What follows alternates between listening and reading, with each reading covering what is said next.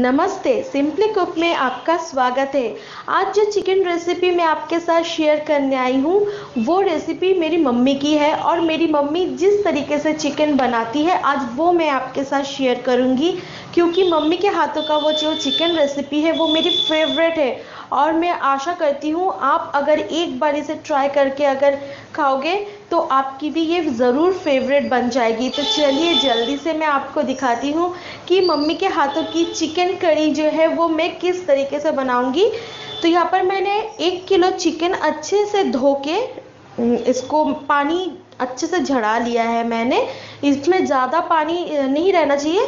बहुत ड्राई करने की ज़रूरत नहीं है, लेकिन पानी जो है, वो बहुत ज़्यादा नहीं होना चाहिए, क्योंकि हम मसालों के साथ चिकन को अच्छे से फ्राई करेंगे तो इसमें पानी होगा तो मसाले जो है, वो पकने में थोड़ा सा टाइम ले लेता है। इसीलिए पानी को जितना चाहे आप अच्छे से ड्रेन आउट कर लीजिए। उसके बाद हम इसको मैरिनेट करेंगे चिकन को।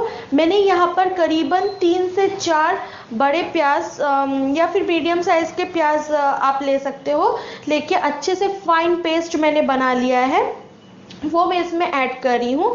अब मैं इसमें लहसुन ऐड करूँगी। लहसुन और अदरक और लहसुन जो है, वो आप देख रहे हो, दरदरा पिसा हुआ है। बहुत ज़्यादा फाइन पेस्ट मैंने नहीं बनाया है। यही जो थोड़े थोड़े छोटे छोटे चीज़ें हैं, जो कि इस रेसिपी को बहुत ही खास बना देगी।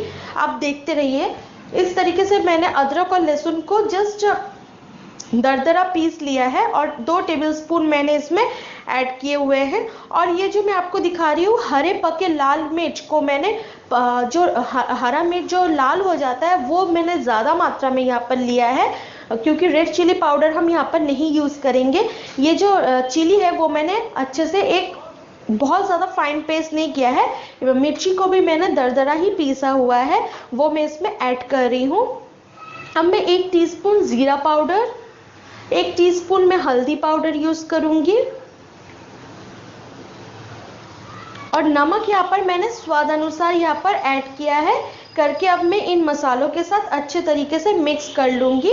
जैसे ये थोड़ा सा अच्छे तरीके से मिक्स हो जाएगा, उसके बाद मैं इसमें थोड़ा सा सरसों का तेल ऐड करूँगी। तेल ऐड करके इसमें मिक्स करके आधे से एक घंटे के लिए मैं इसे रख दूँगी। अगर आपके पास ज़्यादा टाइम नहीं है तो आप 15 से आधा घंटे के लिए इसको रख सकते हैं या फिर सोचिए आपके पास टाइम बहुत शॉर्ट है तो आप पाँच दस मिनट के लिए थोड़ा सा रेस्ट दीजिए, क्योंकि मसाले का जो एक टेस्ट है, वो थोड़ा सा चिकन के अंदर जाने दीजिए। जस्ट दस मिनट के लिए भी आप इसे रख सकते हो। रख के उसके बाद ही आप इसको पकाइएगा। बहुत ही अच्छा बहुत ही टेस्टी सा एक रेसिपी है। यहाँ पर मैंने सरसों का तेल यूज़ कर रही हूँ, क्योंकि ये एक ट्रेडिशनल रेसिपी है, जो कि सरसों के तेल के बिना बिल्कुल इनकम्प्लीट होती है। तो यहाँ पर मैंने सरसों का तेल और तीन तेज पत्ते कुछ इलायची, तीन से चार इलायची, दालचीनी, फिर उसके बाद लौंग और कुछ काली मिर्च। ये मैं साबुत इसमें ऐड करूँगी। काली मिर्च, थोड़ा सा काली मिर्च मैं अब इसमें ऐड करके और एक टीस्पून मैंने यहाँ पर ज़ीरा भी ऐड किया है। थोड़ा सा जैसे ये थोड़ा सा भून जाए, एक अच्छा सा एक स्मेल आने लगे, उसके बाद जो है वो पटाटो को मैंने यहाँ पर कट कर लिया है। हाफ़ आलू को मैंने हाफ़ कट किया है दो टुकड़े में कट किया हुआ है। बहुत ज़्यादा आलू देने की ज़रूरत नहीं है। अगर आप आलू को यहाँ पर अवॉइड करना चाहते हो तो कम्प्लीटली अवॉइड कर सकते हो।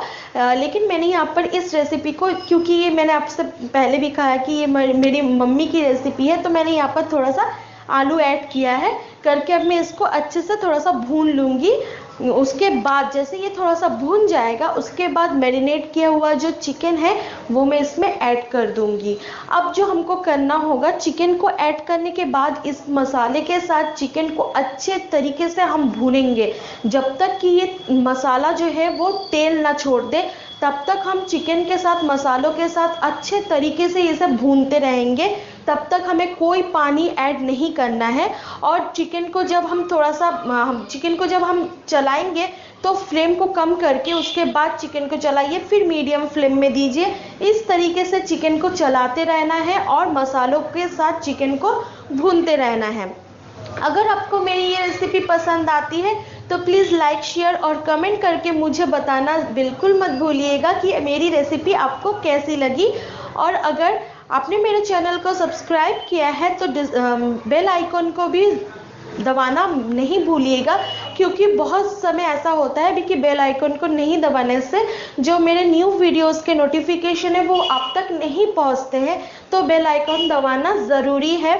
तो यहाँ पर जो चिकन है, आप देख सकते हो, बहुत ही अच्छे तरीके से मसालों के साथ भून चुका है।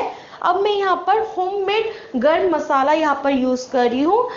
इस होममेड गर्म मसाला की रेसिपी मैं बहुत जल्द अपलोड करूँगी। तो आप वो देख सकते हो। लेकिन अगर आप आ, दुकान से खरीदी हुई जो गरम मसाला है वो भी यूज़ कर सकते हैं।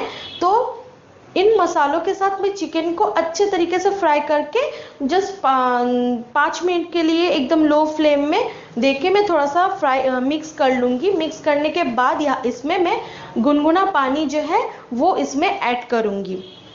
अगर आपको पूरे डिटेल्स में, क्योंकि बार बार वीडियो नहीं देख सकते तो अगर आप डिटेल्स में पूरी रेसिपी लिखी हुई होती है तो आप ना मेरे डिस्क्रिप्शन बॉक्स में मेरी एक साइट का लिंक है, वहाँ पर जाके देख सकते हैं। अगर आपको ज़रूरत होता है तो आप वहाँ पर जाके पूरे डिस्क्रिप्शन बॉक्स में मेरा वो लिंक दिया रहेगा। मेरा जो एक वेबसाइट है, उसका लिंक दिया होता है। वहाँ पर जाके आप चेक कर सकते हो। पूरा एकदम वहाँ पर लिखा हुआ होता है डिटेल्स में।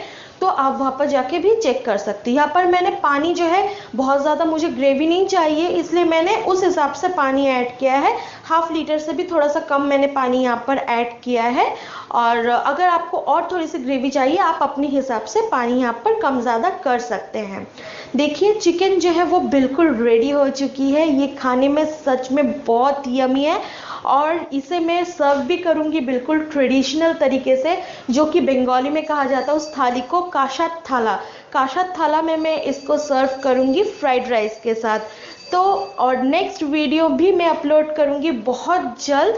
तो नेक्स्ट वीडियो के लिए आप ज़रूर वेट कीजिए और अभी मुझे, मैं अपना ये वीडियो जो है, यहीं पर एंड करती हूँ। नेक्स्ट वीडियो में बहुत जल्द आपके साथ शेयर करूँगी।